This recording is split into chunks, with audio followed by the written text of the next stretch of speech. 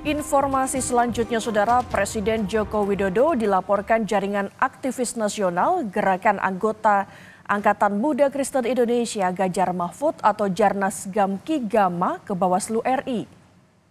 Jokowi disebut menggunakan fasilitas negara dalam mendukung salah satu paslon di Pilpres. Presiden Joko Widodo dilaporkan karena pose salam dua jari yang dilakukannya saat berada di dalam mobil kepresidenan.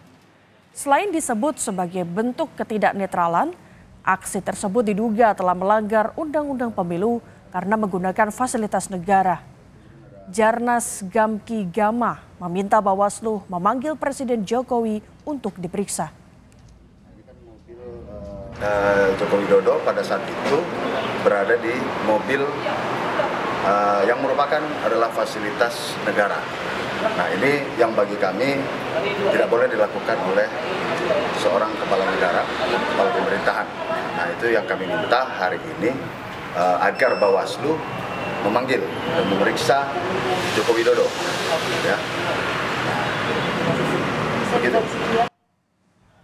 Sementara Ketua Umum Partai Amanat Nasional Zulkifli Hasan menyebut Presiden Jokowi telah memberikan pendidikan politik yang baik dengan tidak ikut berkampanye. Dan terkait pose salam dua jari Jokowi, Zulhas tidak mempermasalahkan hal tersebut.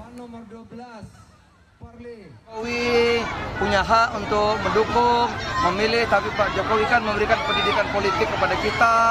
Beliau ya dengan santun, tidak ikut kampanye, tidak ini, ya kan?